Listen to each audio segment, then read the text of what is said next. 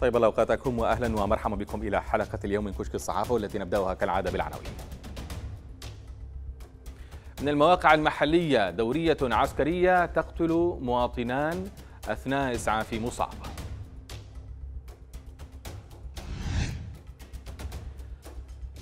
ومن العرب الجديد جريفيث يتغاضى عن الجوف ويدعو لإبقاء مأرب ملاذا للنازحين. وفي أخبارنا المنوعة جدل في ألمانيا عقب الإعلان عن تدريس الأطفال قصص وأناشيد بالعربية.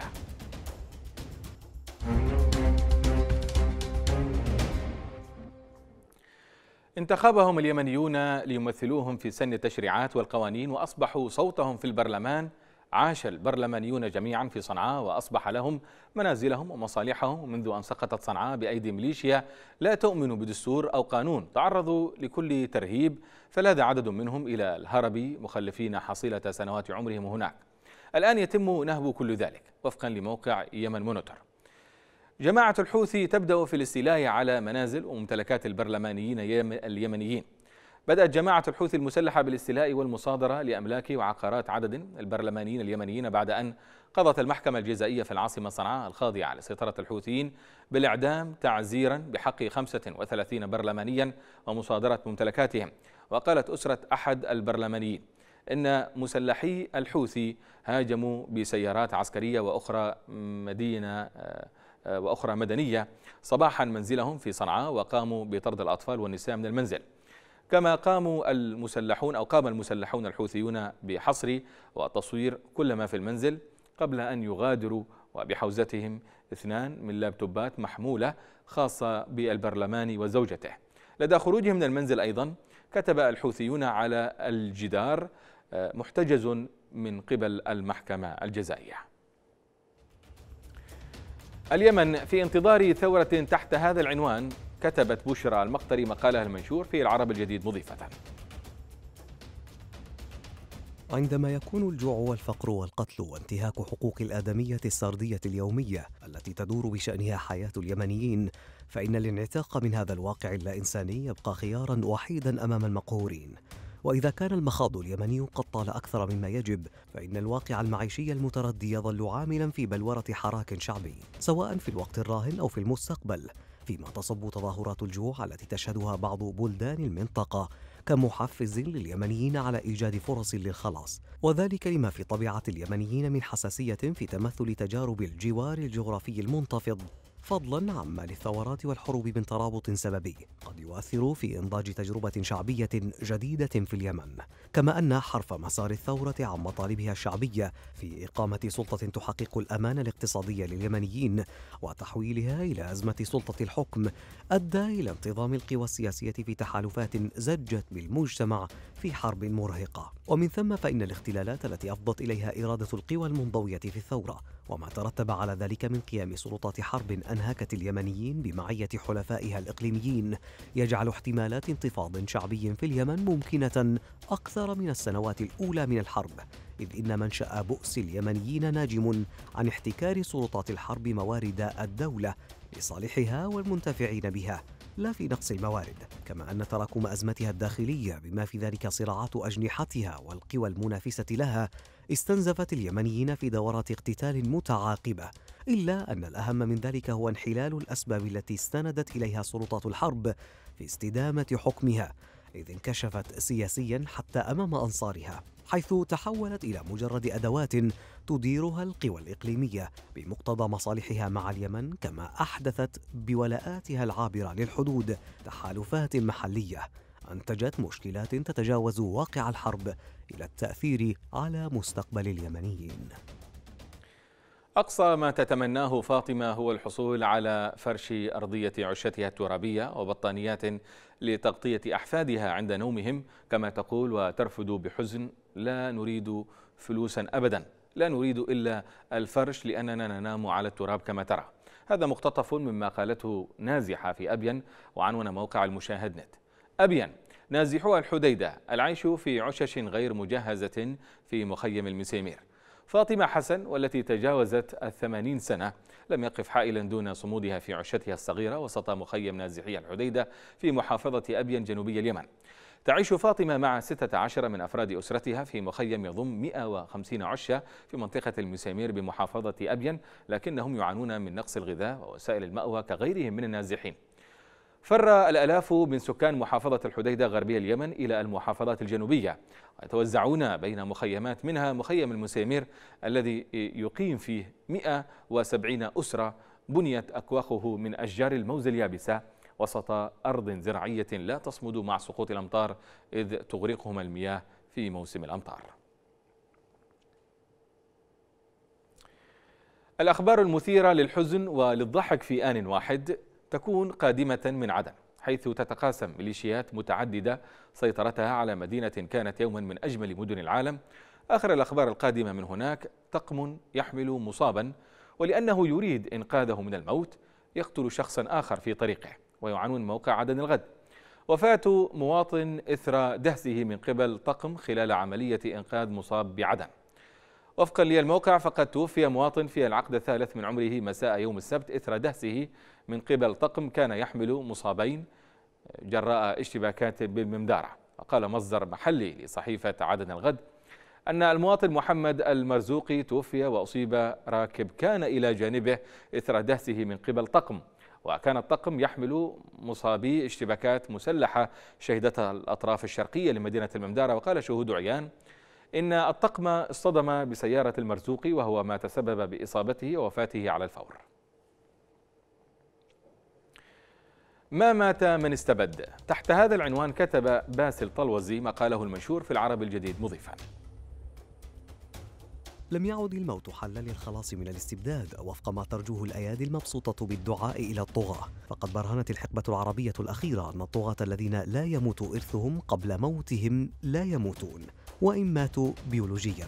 الخلود الأرضي لم يعد فكرة تقتصر على العظماء والمبدعين ومن قدموا للبشرية خدمات جليلة. بل استطالت لتشمل من أبدعوا في الكبت والقمع ومن حرموا البشرية من خدمات جليلة. كان يمكن أن تسهم فيها شعوبهم لو تمتعت بالحرية. أيضا فندت الحكمة العربية الراهنة ظنوننا التي كنا موقنين بها حتى وقت قريب أن الطغاة لا يحلمون مثلنا نحن المروعين بالواقع الكئيب. غير أننا اكتشفنا أنهم أوسع حلما منا جميعا. وإن اختلفت غايات الأحلام بين الطرفين والمصيبة أن أحلام الطغاة أزيد تحققا وتجسيدا من أحلام شعوبهم وتتفاقم مع اتساع رقعة صولجانهم وتضخم أرصدتهم وكثرة أوسمتهم. عندها يتعاظم الحلم بما يتساوق مع تضخم الذات لدى الطاغية. على نحو يجعله يرى الشعب صغيرا بمواليه ومناوئيه على حد سواء بل إن الوطن كله يغدو أصغر من أن تلمسه يداه ليس من باب الزهد بل لأنه يشعر أنه يستحق بمؤهلاته وإبداعاته أن يحكم وطنا أكبر مما أتاحه له سوء حظه العاثر. فالقذافي مثلا لم يخلع على نفسه لقب ملك ملوك إفريقيا عبثا بل كان حكم القارة السوداء واحدا من أحلامه الكبرى فعليا. على ثورات الربيع العربي أن تستوعب درس الإرث جيدا قبل أن تعلن ابتهاجها بإزاحة طاغية عن عرشه. بل تجرد الجلاد من صوته قبل خلعه لأن ثمة أيادي غفيرة تنتظر أن ينتقل إليها هذا الصوت لتستأنف دورة الجلد وعليها أن تحرم الميت من إرثه قبل موته لتتأكد أنه سيموت فعليا لا سريريا. دعا المبعوث الأممي لليمن مارتن جريفيث للإبقاء على محافظة مأرب اليمنية كملاذ لمئات الآلاف من النازحين منذ بداية النزاع وعدم تحويلها لبؤرة نزاع قادمة فيما تغاضى بشكل كلي عن اجتياح الحوثيين محافظة الجوف وتشريد أكثر من 30 ألف مواطن وعنونت صحيفة العرب الجديد. جريفيث يتغاضى عن الجوف ويدعو لإبقاء مأرب ملاذا للنازحين. وقال جريفيث روح المغامرة العسكرية والسعي نحو تحقيق مكاسب السيطرة على الأراضي هما بغير جدوى لأن تلك الحرب لا يمكن كسبها عسكريا في ساحة الحرب. وشدد جريفيث على أنه لا يوجد بديل عن تسوية سياسية يتم التوصل إليها عن طريق التفاوض. وتزامن وصول المبعوث الأممي مع تصعيد حوثي غير مسبوق في مديرية خبو الشعف بهدف استكمال السيطرة على محافظة الجوف الاستراتيجية المحاذية للسعودية. من جانبه رفض نائب وزير الخارجية في حكومة ميليشيا الحوثي غير المعترف بها دوليا حسين العزي مبادرة المبعوث الأممي مؤكدا عدم الاكتفاء بالسيطرة على الجوف وإنه لا بد من الوصول إلى الثروة النفطية والغازية باعتبارها لكل اليمنيين وليست خاصة فقط بمنتسبي تنظيم الأخوان. وتشير تصريحات القياد الحوثي إلى أن هدفهم القادم هو السيطرة على منابع النفط والغاز في صافر وإعادة تشغيل محطة مأرب الغازية للعاصمة صنعاء الخاضعة لسيطرتهم وذلك بالالتفاف مباشرة إلى منطقة صافر وليس الدخول إلى مدينة مأرب عاصمة المحافظة التي تضم تجمعات سكانية ونازحين. تتجه الأنظار نحو إيران بعد تزايد أعداد المصابين بفيروس كورونا والإعلان عن وفاة مسؤولين بالفيروس صحيفة القدس العربي تعنون. كورونا الرعب يغزو طهران واتهامات للحكومة بالتقصير. وقالت الصحيفة تتزايد مخاوف سكان العاصمة الإيرانية طهران بسبب الانتشار السريع لفيروس كورونا في الوقت الذي آه، يتهمون فيه الحكومة بعدم اتخاذ التدابير المناسبة لمواجهة الفيروس. وتم تسجيل أول حالة إصابة بفيروس كورونا في إيران بمدينة قم في التاسع عشر من فبراير شباط الماضي وذلك بعد أول ظهور للفيروس في منتصف ديسمبر كانون الأول. 2019 في مدينة ووهان وسط الصين. وقد أدى انتشار كورونا في إيران حتى الخميس إلى مقتل 107 أشخاص وتسجيل 3513 إصابة في طهران. تسبب الخوف من العدوى بهذا الفيروس القاتل إلى انخفاض أعداد مستخدمي مترو الأنفاق بنسبة 70% كما أجبر انتشار الفيروس السلطات الإيرانية على إلغاء جميع الرحلات الجوية إلى جيلان التي سجلت أكبر عدد إصابات بين محافظات البلاد ومع توقف المدارس في طهران بسبب انتشار الفيروس انخفضت كثافة الحركة المرورية وخلت الشوارع والساحات الرئيسية في العاصمة تقريبا من المارة. وقال محمود نزري وهو مواطن إيراني من سكان طهران أنه وبصرف النظر عن الأخبار التي شاهدها على شاشات التلفزيون لم يكن لديهم معلومات مفصلة عن كورونا ولم يعرفوا ما الذي ينبغي عليهم فعله وأضاف نزري لمراسل أناضول وأنه وعائلته قلقون جدا بشأن الفيروس وأن عائلته التزمت البقاء في المنزل وعدم الخروج منه خوفا من انتقال العدوى هل هناك حياة بعد الرأسمالية؟ تحت هذا العنوان كتب أستاذ علم النفس في ستوفلوك بول ريتشارد مقاله المعاد نشرة في صحيفة الغد. بينما تقوم الرأسمالية بتجميع الموارد لمراكمة القيمة الاقتصادية تتكشف إمكانية الانعتاق عندما يتعلق الأمر بالتقدم التقني بما في ذلك تطوير العقاقير والعلاجات الجديدة التي تزيد فترات حياتنا بشكل كبير. ولكن كذلك تفعل التكلفة البشرية المترتبة على ضروراتها الاقتصادية التكاليف التي تمتد إلى عمر متقدم من العزلة والفقر بالنسبة للكثير من الناس. قد تعترف الرأسمالية بوجود اللامساواة وإنما ليس إلى درجة الاعتراف بازدهار هذا النظام على اللامساواة ولا بالمسؤولية التي ينبغي أن يتحملها عن توفير الرعاية لأولئك الذين يصبحون أكثر عرضة لضعف الصحة والتعليم المتدني والفقر والجريمة وهي حقائق تجري نسبتها زيفا إلى عيوب شخصية بدلا من نسبتها إلى العيوب الهيكلية ويشكل عدم التوافق بين الوعد بحياة مطولة وواقع تدهور مستويات المعيشة في سن الشيخوخة معضلة مركزية للرأسمالية. المعاصرة. في مواجهة هذه المعضلات اقترح الفلاسفة الاجتماعيون سلسلة من البدائل الواضحة والعلمية والديمقراطية للرأسمالية وصاغ غورز مؤلف وداعا للطبقة العاملة اتجاها بديلا أخضر أحمر للسياسة اليسارية نموذجا لإيكولوجيا سياسية تتحدى منطق الرأسمالية وأخلاقياتها وفعالياتها إلى جانب جنوحها المستمر نحو الربح. مدفوعا بما لا يقل عن فكرة الإنتاج المفيد اجتماعيا اقترح غورز مجموعة من الطرق لإعادة تنشيط هذه المهارات وتقليل العمل وزيادة وقت فراغ الناس. باختصار حيث أنتجت الرأسمالية تغريب الفرد اقترح غورز توسيع مجال النشاط البشري المستقل من أجل زيادة مساحة تحقيق الذات ومن بين مقترحاته العملية العديدة التي شملت إقرار دخل أساسي للجميع كتدبير مؤقت إلى أن يتم التخلص من النقود اقترح خططا لتطوير مجتمعات منظمة ديمقراطيا والتي يكون من شأنها أن تحدد من بين أمور أخرى قيم الإنتاج والتخطيط وتوفير الاحتياجات المحلية. واستكشاف إمكانيات التحرر من الأشكال الهرمية لتنظيم العمل وتطبيق ممارسات ما بعد إنتاجية. لا وجود للمستحيل مع توفر الإرادة. لقد تفاجأ جودي إيليس بينما كان يقود سيارته في ألاسكا حيث درجة الحرارة 16 آه، آه، تحت الصفر وكتب تقريرا عما رآه ونشرته البي بي سي. قصة محطة للطاقة الشمسية تعمل وسط الثلوج في درجات حرارة تحت الصفر. يقول المحرر عندما كانت أو عندما كنت أقود سيارتي على الطريق السريع كانت درجة حرارة كانت درجة الحرارة بالخارج 16 تحت الصفر وبدأ مشهد الألواح الشمسية المغطاة بالجليد في مواجهة آه، السماء المظلمة غريبا. ولا سيما أن الشمس كانت قد أخذت تبزغ على استحياء خلف الجبال في الساعة التاسعة صباحا.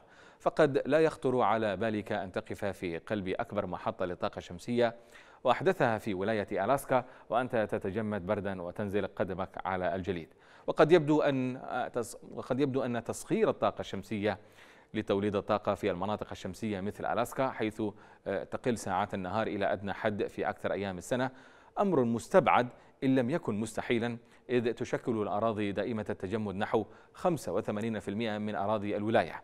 لكن محطة وي ليو آه، ويلو للطاقة الشمسية في ألاسكا أثبتت أنه من الممكن توليد الكهرباء من الطاقة الشمسية حتى في أقصى شمال الكرة الأرضية وأكثرها برودة.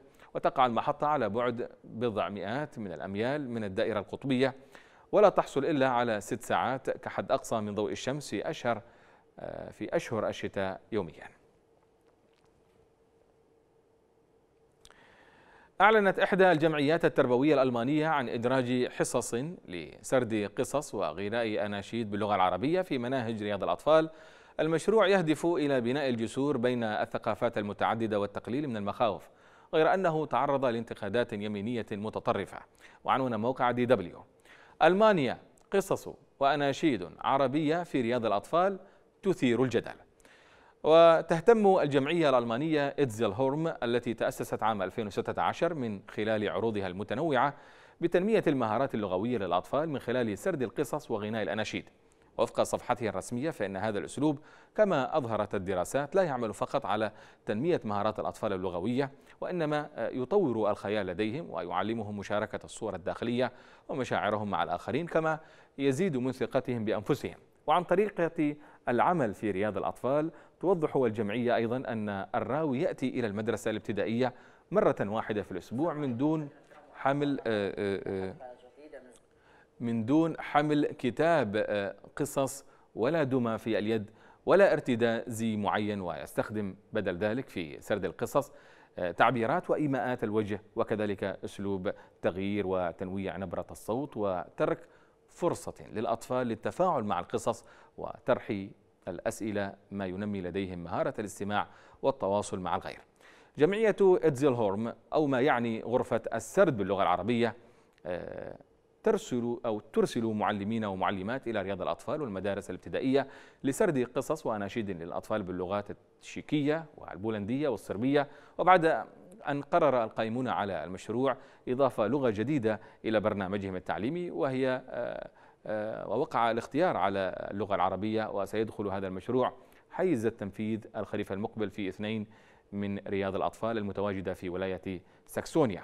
وعن الفكرة خلف هذا المشروع تقول ويل ريتشارد من الجمعية على الأطفال التعامل مع اللغة الأخرى على أنها ليست لغة أجنبية وغريبة عنهم من خلال هذا المشروع. ونستهدف في المقام الأول الأطفال الألمان وكذلك الأطفال من أصول مهاجرة الذين سيستمعون في المستقبل إلى أصوات مألوفة لديهم. الأحداث من خلال الصور والتي وثقتها آه، والتي وثقها مصورو صحيفة الجارديان من مناطق مختلفة حول العالم نتابعها في جولتنا المصورة.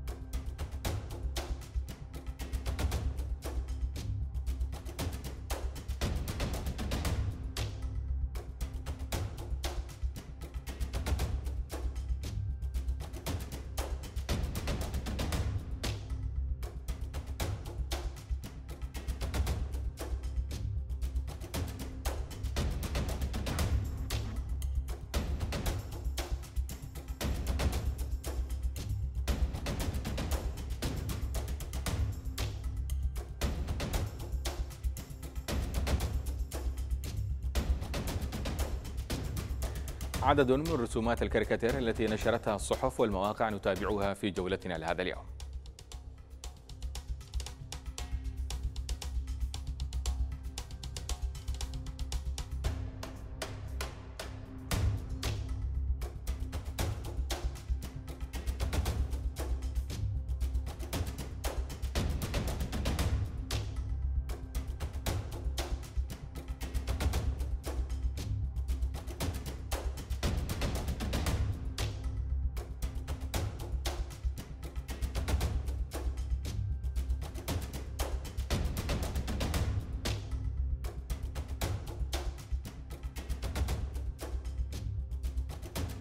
وبهذه الرسوم نكون قد وصلنا وإياكم إلى ختام حلقتنا لهذا اليوم. نشكركم على المتابعة وإلى اللقاء.